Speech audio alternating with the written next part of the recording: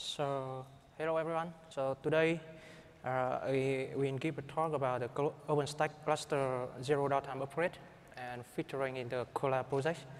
So um, my name is Hiếu and uh, uh, my colleague here is. My name is my name is Dương. I am a software engineer from Fujitsu Vietnam and I am also a co-reviewer of Kolla. Yeah, so you can ping us in uh, via our contact so in the screen here via email or an IRC. So this talk will give some reviews and thoughts about the zero downtime upgrade for OpenStack service. And please note that this is just an idea. Uh, this idea showing in, in this presentation is just a concept and hope that in the future we can implement on our idea in a native OpenStack project. And we have some POC and demonstration uh, via Kolla project. And here an outline. Uh, firstly, we come through the, uh, some concept about the OpenStack upgrading. And the second thing is our approach from to achieve the minimal, from minimal downtime to zero downtime. And the last thing is some zero downtime upgrade proposal in the Kolla environment. We have some demo and uh, we show some live demo in uh, while upgrading uh, in Kolla project and we we have a zero downtime while comparing with the normal upgrading process uh, and we have it in uh, our video demo. And so this is a live demo, so uh, hope that is okay.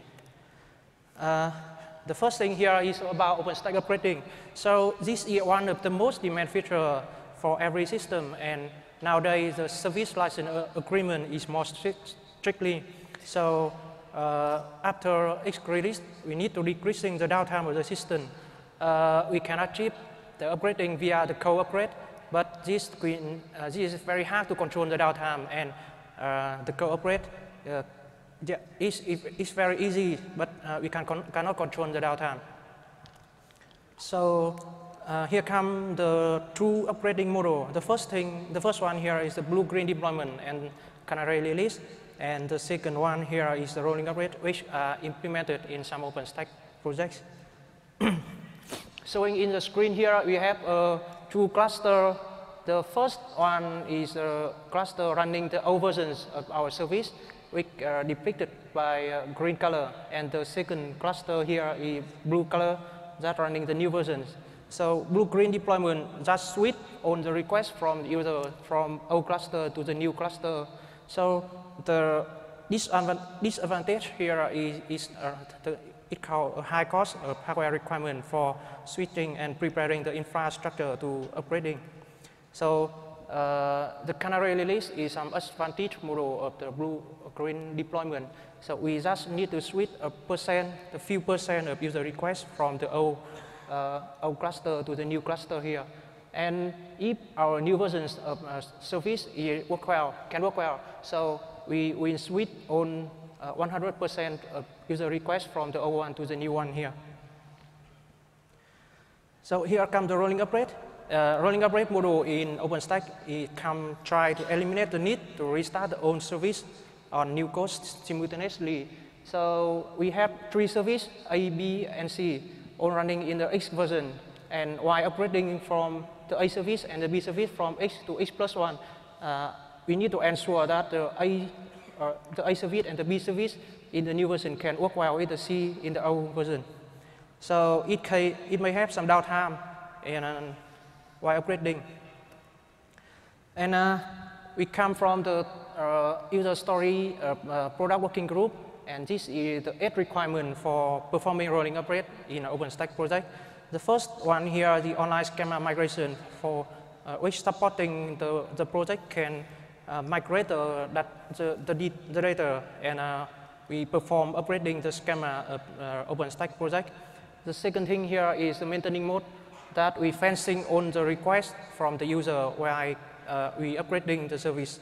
And the third one here is the line migration. And if we try to rolling upgrade the data plane, for example, the Nova Compute service, so we need to ensure that on the VM running in the node can line migrate to the other node the fourth one here is the multi-version interop, uh, which I mentioned in the last slide that uh, on OpenStack service that communicate via RPC, you need to uh, work well while recuperating from the, X, the old version to the new version. Uh, fifth one here, the graceful shutdown, is that if uh, one operated service uh, processing some user requests, we need to ensure that this must finite or this the, the, the, user, the current user request to, uh, to, to go into the operating process. The sixth one here is the upgrade orchestration that we can uh, automatic, uh, we can automate the upgrade process via some tool like uh, Ansible or Heat. And the seventh thing here is the upgrade rating that we try to ensure all the new patch upload to, uh, to OpenStack source code can work well and do not break the upgrading process. The eighth one here is a project tagging which TC proposed for provide the, enough information for operator or end user to see how many projects in OpenStack that support rolling upgrade. And more detail in the upgrade assertion stack, the TC of OpenStack define five upgrade related tasks. The first thing here is support upgrade. The second thing here is the second thing is support accessible upgrade. And there are some OpenStack projects, most, almost OpenStack projects that support upgrade, but there are no projects that, uh, that can support the accessible upgrade because they're very hard to test the data plane of the OpenStack project.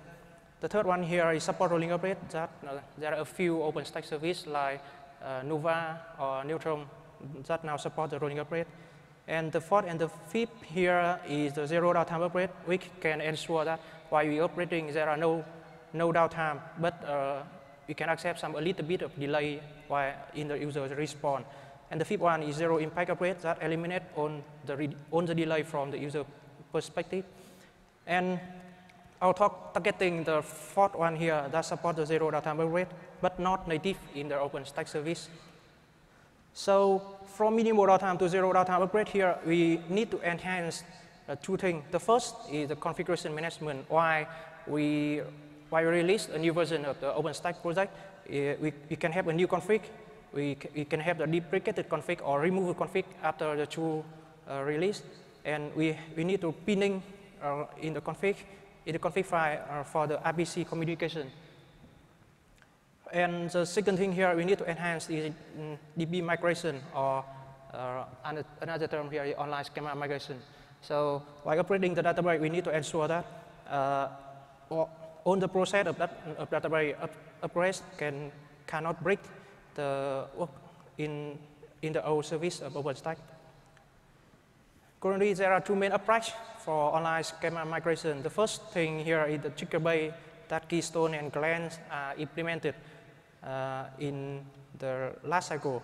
And we also saw that Facebook used something like trigger bay in, uh, in, the reference, in, in the reference link here for doing the upgrading of, of Facebook service. Uh, the second approach here is the triggerless, uh, as the Nova and Neutron are trying to target. And another approach here is, is a binary logs bay that we will talk about later. so uh, for the data database online schema migration, so there are two candidate solutions. The first thing is we, we propose that we need to buffer on the request in the operating period and the second thing, we utilize the checkpoint and snapshot of a binary uh, and binary log of database. This is our proposal that in the first step, there are an, a normal OpenStack, uh, full stack OpenStack cluster. And uh, in the first step, we try to operate the OpenStack cluster. We turn on the request buffer. This can be an in-memory request buffer. And this will hold on the user's request in, in this buffer. And told the user that please wait a few minutes while we upgrading the OpenStack cluster. And after upgrading the, for our service from the X version to the X plus one version, or and the DB layer from X version to X plus one version, we release on the request in, in the buffer and ensure that the request are resent with the original order. So there are two kinds of requests we need to buffering. The first thing is the RESTful HTTP HTTP API request from the user and the between inter project. And the second thing we need to, to buffer here is the RPC request through the message queue layer. And we need to ensure also that uh, the, all the requests that would that be put in the buffer need to be resent in the order, in the correct order, then best with the timestamp. So this can be, this have an advantage that from the user point of view, there are no service perceivable downtime if the migration time is short enough. And, but it come out with the disadvantage that if, we, if the migration time is long, uh, mainly, for, mainly by the database migration pro process, some requests can come out. And the system is last when the requests are queued in the buffer. And uh, for some requests can allow, so we, we see that there are some upright from the Keystone project that allow the expired token. If, we, if, it, if it out, so we can resume the expired token for uh, while resending from the buffer. So for trying to resolve the buffer can be very large database uh, while upgrading and migration data, uh, we come up with the next proposal. So uh, every OpenStack database had the, had a feature called the binary log. So uh, we turn on the binary log and, and all the transaction will be held in the binary log. And then we create the checkpoint, turn on the binary log. So um, there are some there are some depict here that uh, all the new data will come in the upper layer at, at the red color and all this new data will be recorded by binary log and uh, we shut down on the database related service and read the binary log and through the database log we uh, migrate the data to the new version of, of uh, DB. And after that, we turning off the binary log and come and restart on the, on the service in the new version. So there are a little bit downtime here, and this can be eliminated with the previous approach. So the advantage of this proposal is that the internal system downtime is very smaller uh, comparing with the previous approach. And the uh, disadvantage here, uh, from user point of view, there is a short downtime, but the implementation is more complicated than previous. Uh, for example, uh, not all OpenStack service uh, using the same um, DB mechanism that can support the uh, binary log. So our, our live demo will come up with the first approach. So for conclusion, we, we can combine the two candidate method to, to get advantage from the both method. So the first step here, we create the checkpoint and the binary log, and then we migrate the current DB to the new schema, to the new version schema and then we turn on the buffer for holding all the user requests. Then we migrate the new data to the new, new DB, and then we turn off the binary log, and we finish. So we hope that they can, uh, they can have a zero downtime from user point of view and only a bit lag while, we, while user sending some requests and have a response here. So here come the demonstration Kolla and my colleagues will help you. Thank you, everybody. Uh, first, I have some word about Kolla project.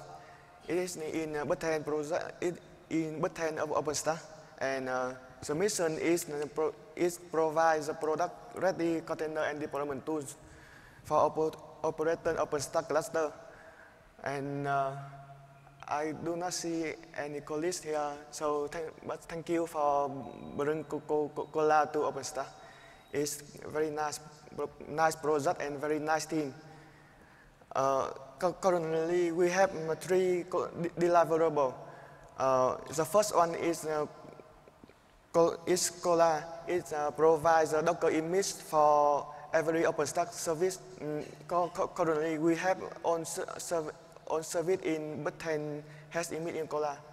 The second one is Kolla Ansible. It is the Ansible playbook and uh, supplement tool for deploy OpenStack cluster. And the last one is Kolla Kubernetes. It is the same mission as Kolla Ansible, but the deployment tool is uh, by Kubernetes and Helm.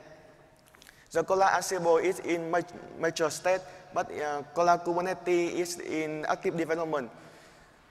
Uh, so we have uh, some uh, company use Kolla Ansible in pro production.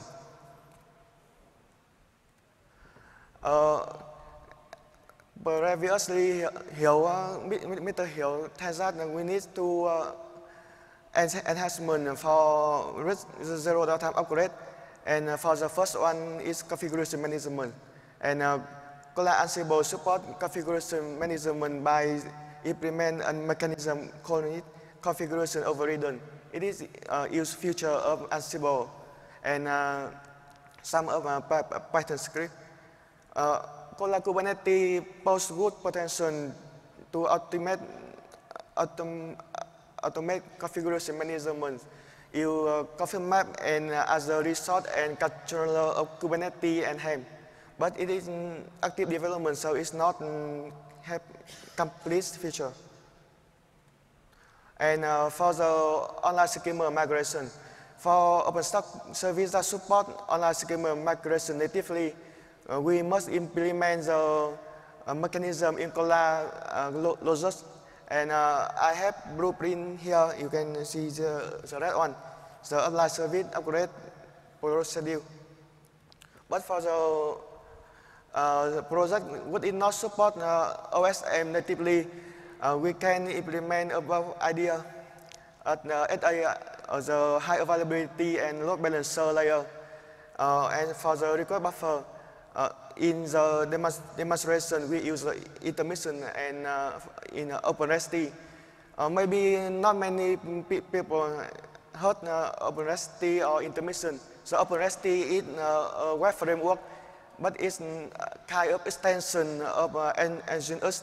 And intermission is uh, a Lua plugin for OpenResty for buffering the request. And it is an open source process. Uh, for the POC, we uh, have the uh, some component here. You can see uh, we put uh, intermission B uh, uh, in front of ADI From proxy, uh, is part of Kolla deployment model, and uh, the keystone is only a, sample. In, in Kolla deployment, ADI is in front of own OpenStack service. And uh, the intermission here is for buffering the request when the upgrade is not played. Uh, we also have uh, some tuning, tuning here. The first one is header for the request, uh, go out the intermission. And the second one is I change port of some service in up, uh, is in upgraded. Uh, I um, we uh, also have one scenario here is uh, we continuously send uh, 200 re uh, requests for each uh, create and delete network to uh, Ocata, Ocata cluster and we upgrade Neutron to the master code by why the upgrade is done. Sorry. Okay.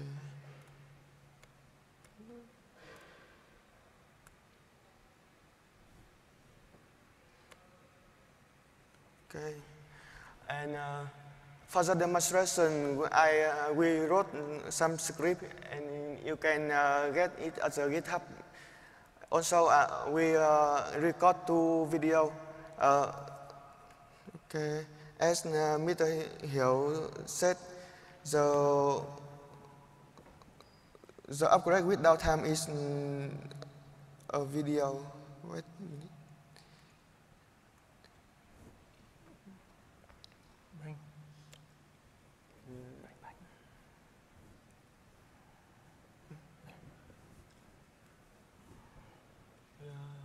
I hope so. you can see it well.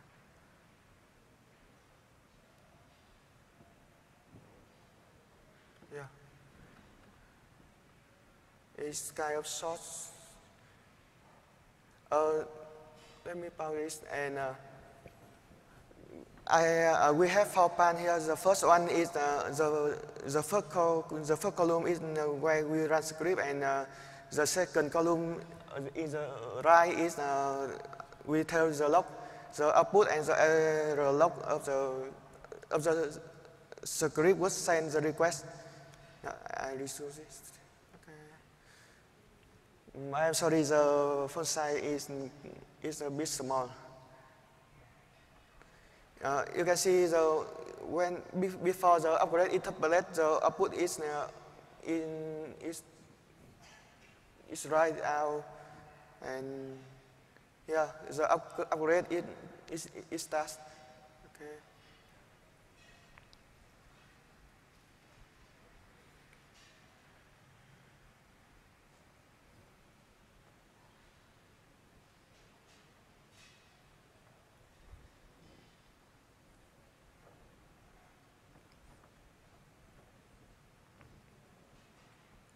Sorry, because we cannot grease the true cluster deploy in Kolla for, for not buffering and the buffering uh, version. So we, we record the not buffering uh, versions and show it in the video.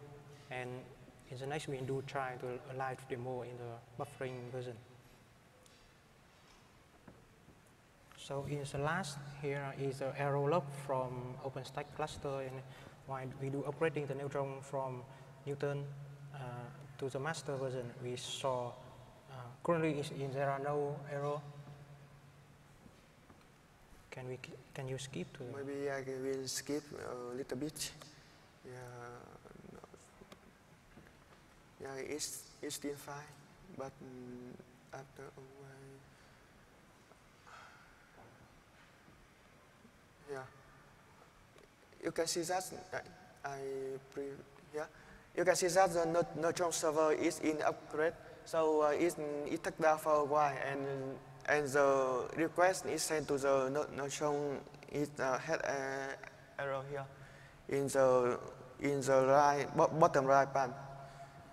Many error yeah. Is uh, okay? So come back with the Lightroom.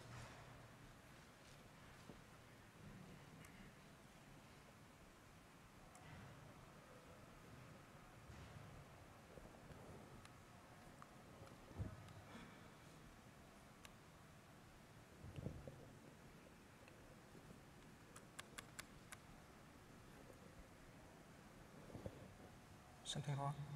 Mm, sorry, the VPN connection is time out. I must VPN use use VPN to connect to my cluster, and the connection is time out.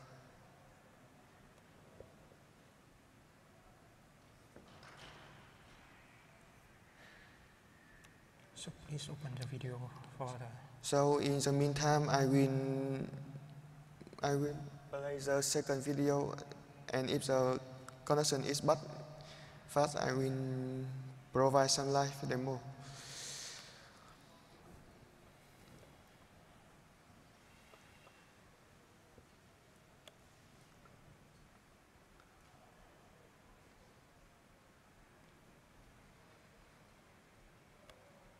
Yeah, uh, the pan is the order as the same as, as the previous video. I am sorry for the connection is gone.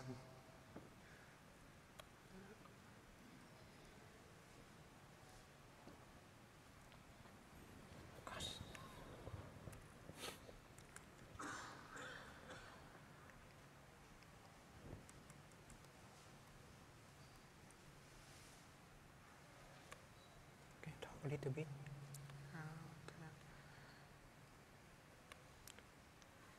So in, in, the, in the demonstration, we only buffer the HTTP request. The MySQL buffer run is in our, our resource. Okay, so uh, Kolla community also post many interest in rodent upgrade and uh, zero downtime up-. But uh, okay.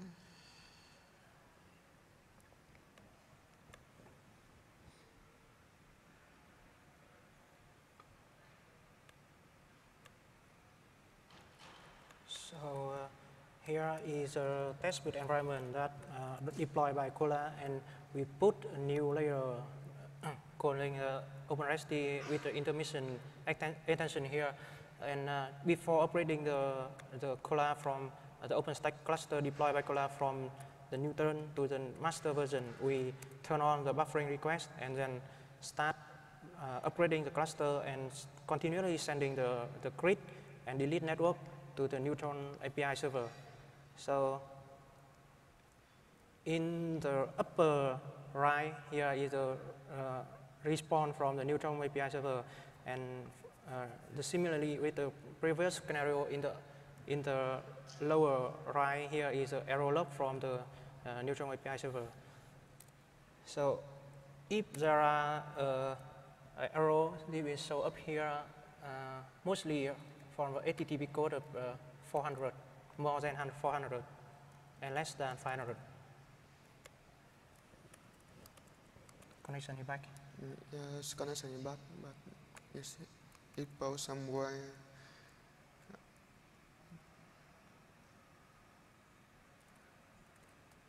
It seems that tmux that does not like VPN. I, don't know why. The tmux with CMD is uh, does not like VPN.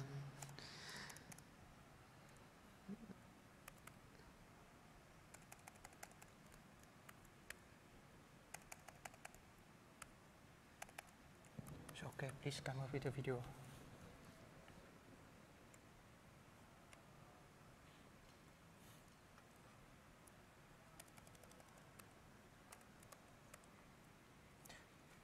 So we cannot connect to our system via the VPN connection in a Summit network.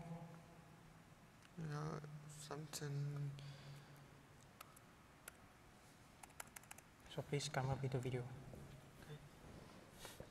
Okay. Yeah, you can see that the Neutron server is the Neutron server is uh, finished up, upgrade. Uh, the phone is a bit small here, but uh, is here is mm, in in the first in the top left pan. It is uh, the three yellow line, and it uh, it, depicts that the Neut- Neutron server is uh, up, upgrade is finished up, upgrade, and you can see that in the bottom right pan, is no er- error is is speed up, but mm, the output pan is is still fine, but it's lag as uh, Hiếu said before. Due to the buffer is uh, the request is held in the buffer, uh, and the request is continuous. It's, it- it's still sending.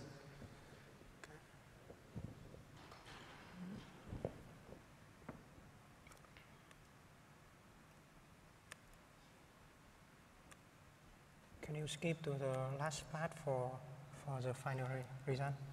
Sure. It's very long, very, very long process, progress here. So the upgrading of the Neutron server from Yeah, old version to the new version is very long because we need to wait to, for the Neutron server in the new newest version to come up and take uh, around five, 10 minutes.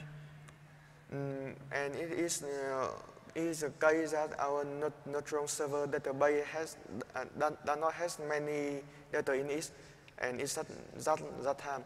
And in the production, when the database is mm, has many many da- da- data, the migration progress is much long, much longer than it. So if if we do not have the buffer layer on on MC request, is uh, fail.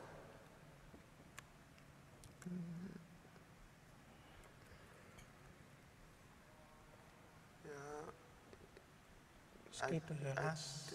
skip a little bit here. The upgrade done progress is finished in the first pan, and the request is continue pro is continue process.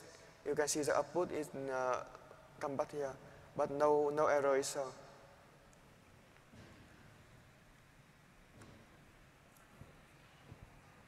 Reason.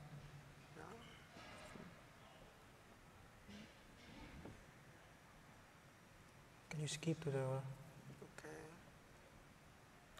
Now, s- the output is continue. Same here. So in the in the first uh, top left panel, you can see that the operating process is finished, and the line uh, in the lower left panel is the request sending, uh, finish sending the request for creating and deleting the network. And after finishing the operating process, the buffer now release on the request that in the buffering. And here you cannot see the arrow from uh, any arrow from the request of the uh, AT Neutron API server. Can you continue? Okay. Mm, you can see that the request on, on the request is sent, and the output is uh, I think is is near the end of the output. We index the request that you can see here in the in the request that uh, creating and deleting the, the network number one, two, and three, and then in the results in the top right panel, we, uh, here is the uh, you can see the order of the of all the buffer requests is continuously increasing from one to 200. So yeah, that's it. Finish. Yes. Okay. So very sorry for the VPN connection, but uh, come back to the slide.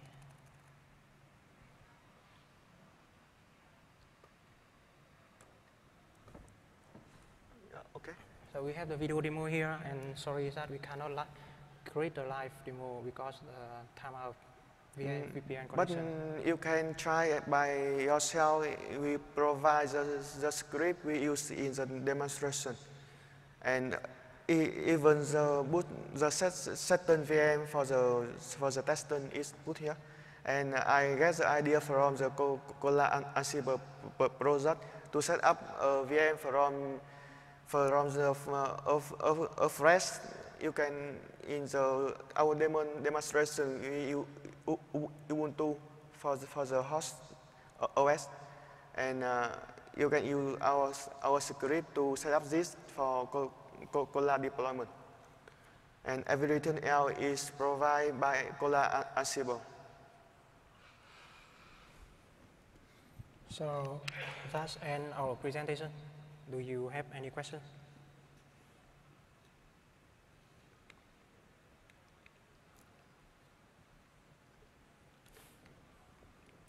So if uh, there are no questions, okay. So thank you for coming here, and uh, very sorry for not cannot have a, a live demo. So okay, thank you. Thank you very much.